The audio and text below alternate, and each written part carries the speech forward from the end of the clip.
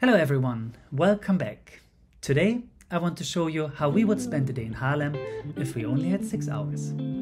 As we are from the Netherlands and used to live in Haarlem, we focus on a chill day with shopping, food and interior design. Our first stop is right in the beginning of the shopping street, the Chocolate Company. Here you can get a coffee, cake, cookies, tea, and yes, you guessed the chocolate. Especially on a colder day, a hot chocolate with some cream is very nice. In addition to this, you can also choose some praline in all sorts of flavors. We chose nougat, hazelnut, and caramel for the way.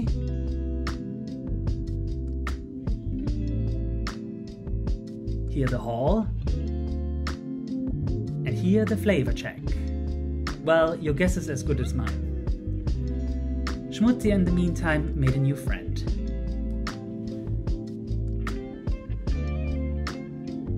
Following down the street, we head towards the Barteljorisstraat, one of the bigger shopping streets here.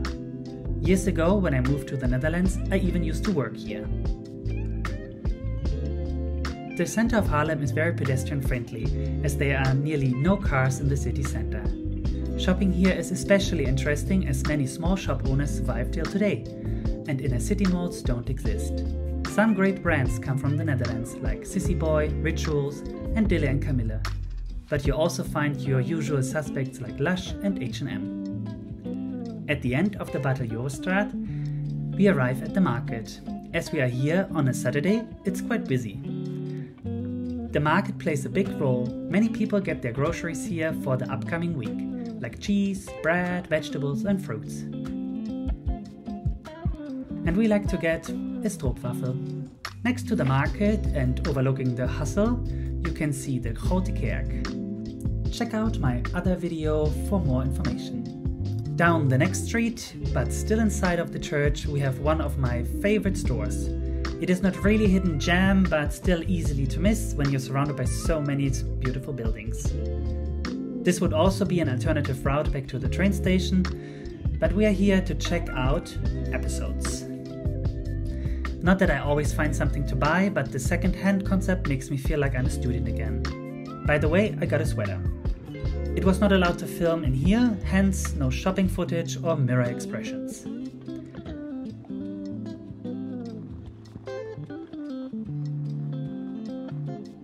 On the other side of the church, you can find these tiny stores built right onto the bigger buildings. So if you are looking for a watch or some necklaces, you could find it here. Some stores feel like a Pinterest clipboard and might hit your vibe.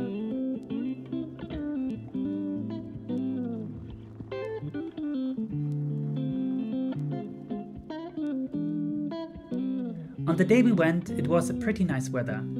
A bit cold, but the sun was amazing. When you are here on a rainy day, just remember to not use an umbrella as the rain in the Netherlands is always joined by strong wind and you don't want to lose an eye trying to hold on to it. In this area and surrounding the church, you can find some nice restaurants and cafes, but we are not yet in the mood to follow up our chocolate. We want to explore this interior store. La Nena. If you see something you like, let me know in the comments.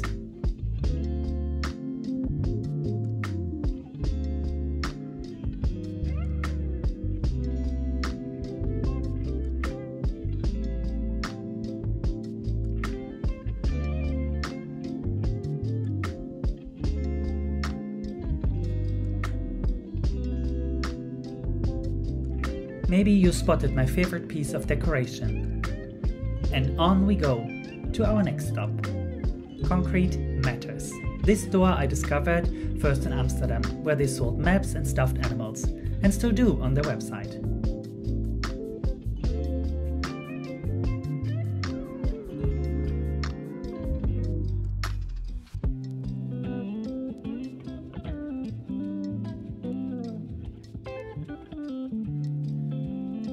I quite like the picnic blanket, but the purchase is still pending. Outside again, Schmutzi met his mini-me. And for us, next was Dille and Kamille, a Dutch concept store that revives the traditional corner shop. For me, this is the perfect destination if I'm looking for a present, as you can find everything for the kitchen, bathroom, garden, and even toys.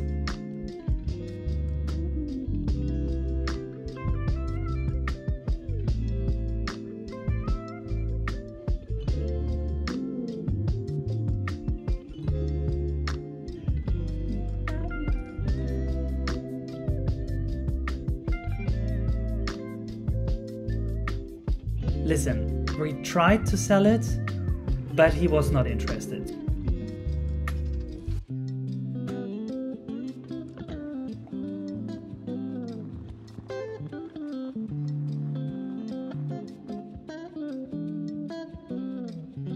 Time for lunch. This unimpressive corner of the city and the parking garage doesn't look like much. But wait, only a few steps.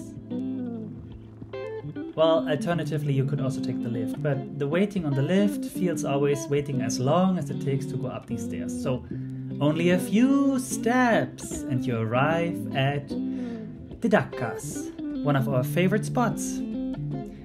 With a view over the city and the delicious food, this is the perfect lunch place.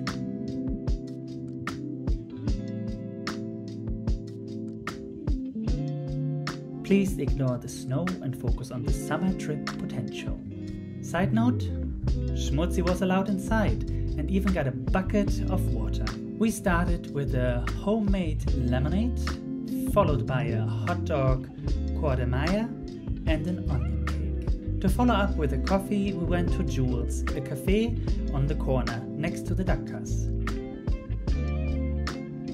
We drank a filter coffee and a matcha latte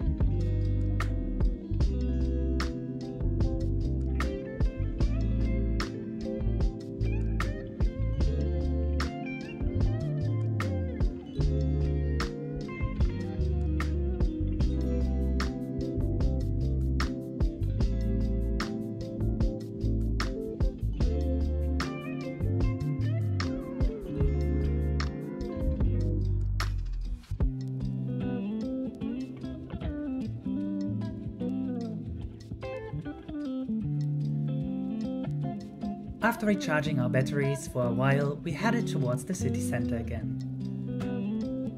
We came along this little shop. It contains everything a stationery lover would want. But a little side note, only enter with the intention to buy, as browsing only is not allowed.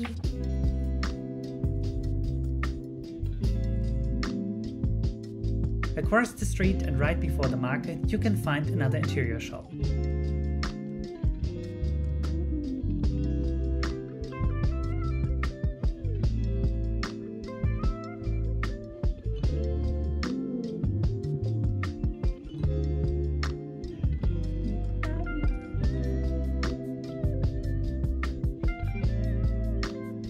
Across the market again and through the left. We follow the stalls to have our final coffee break of today.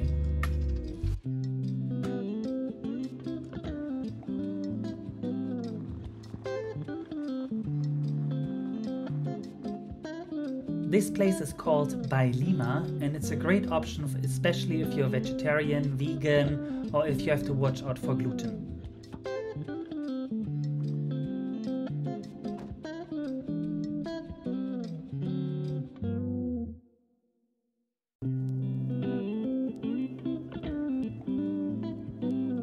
For our last stop of today, we are again in the Barteljorisstraat to visit Bolia. Bolia is a furniture and lifestyle store. Here you can get inspired to create your own personal spaces. Their reimagined Scandinavian design are absolute stunning. Hashtag not sponsored. But if you're listening, Bolia, I'm right here. Yeah,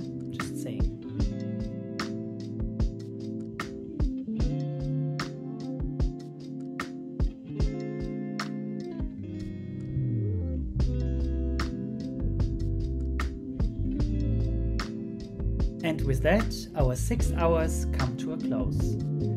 Going out for a little shopping day is great, and especially in Haarlem, a lot of fun. If you liked what you saw, join us on our next trip. And if you don't want to miss it, leave a like and subscribe. Till next time.